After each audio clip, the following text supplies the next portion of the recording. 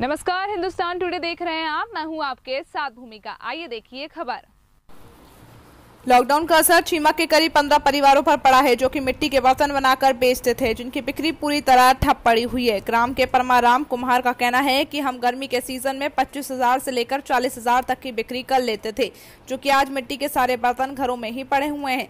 चिमक से करीब पंद्रह परिवार कुमारों के हैं जिनको आज तक प्रशासन का कोई अधिकारी देखने तक नहीं आया।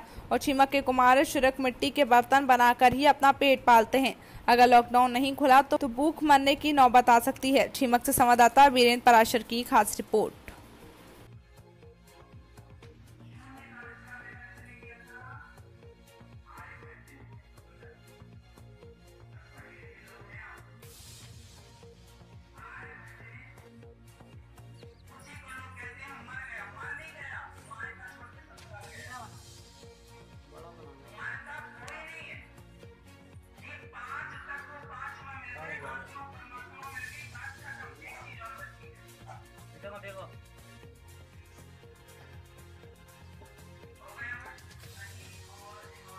क्या नाम है आपका? मेरा परमानाम अच्छा ये बर्तन का काम कर रहे हो आप? कितने दिन से कर रहे हो? नहीं दो तीन महीने हो गए ना। नहीं ऐसे मतलब हर साल बनाते हो? हर साल बनाते हैं। कितने की बिक्री हो जाती है आपकी? अपना वही रोजी रोटी अपने पाँच पच्चीस हज़ार का काम कर देती है। मतलब साल भर का खर्चा निकल जाता है। हैं। अच्छा ऐसे जो लॉकडाउन चल रहा है हाँ। इससे आपको बर्तन जो चल रहे हैं बना रहे हो आप? हाँ। उसमें फ़र्क पड़ा है कि नहीं पड़ा? अरे सब माल रुका है कोई धंधा ही नहीं है मेले बंद हो गए पूरे। जब मेला में जाते थे।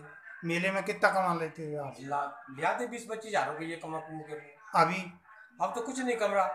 आ जाता है कोई तो लॉकडाउन के मारे भग जाती है सब लोग। अरे अच्छा। लॉकडाउन है लॉकडाउन है वो बीमारी आ गई। हम्म, कोरोना आ गया भाग लो भाग लो ये हो रहा है। तो अभी जो आपने बर्तन बनाए हैं हाँ। वो पूरे ब्लॉक होंगे रखे होंगे पूरे? जी सर रखा है माल। पूरा अच्छा। माल रखा। तो अब कैसे निकालोगे आप? अब कैसे निकलता है? रखा रहेगा पड़ा है क्या? कितने की पूंजी लग गई होगी आपकी? हमारी पूंजी लग गई दस पंद्रह हज़ार रुपया हो गया। पंद्रह हज़ार मट्टी भी लाया कंडा भी लाया सभी लगा। अच्छा जो पैसे लिए आपने कर्ज से उठाए? जी। कर्जे से लाया। कर्ज से उठा के हाँ। मिट्टी मिट्टी मतलब- डलवाई थी। हाँ, जो मटके वगैरह हाँ। बना रहे हो सब कर्ज से कर्ज से उठा करके? हाँ। ऐसे मतलब जो मेला वगैरह चलते तो उसमें हाँ, आप तो कमा के भाड़ा करके अपने धंधा करते वो कमा के वापस कमा कर दे पैसा देते